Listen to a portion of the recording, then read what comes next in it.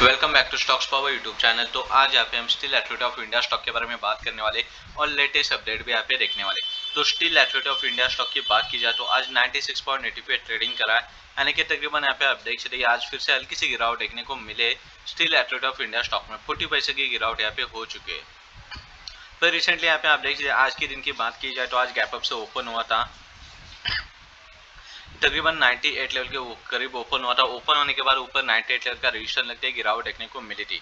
पर जैसे previous closing को ब्रेकआउट दिया तो और भी गिरावट हो चुकी थी।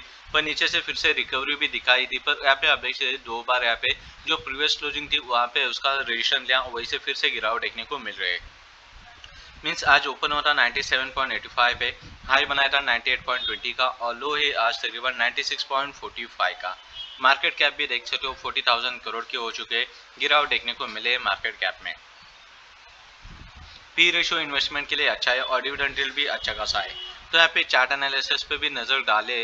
तो यहाँ पे आप देख सकते हैं steel authority of India stock में आज फिर फिर से बेरिश कैंडल दिखाई दे। नीचे आता है तो 95 लेवल पहले से हमने बताया कि सपोर्टिव लेवल है यहाँ पे steel authority of India stock के लिए। और ऊपर जाता है तो यहाँ पे 99 लेवल पे रजिस्ट्रेशन लगने के चांसेस है, क्योंकि मंथली रजिस्ट्रेशन उस लेवल पे। तो इस मंथ यहाँ पे आप देख सकते दो दिन है यहाँ पे, दो दिन के बाद यहाँ पे आप देख सकते मंडे से नए प्यूट लेवल आएँगे तो यहाँ पे आप देख सकते मंथ भी चेंज हो जाएगा तो मूवमेंट भी चेंज होने के चांसेस है steel authority of India stock के अंदर। तो ये थे लेटेस्ट अपडेट सेल स्टॉक के लिए।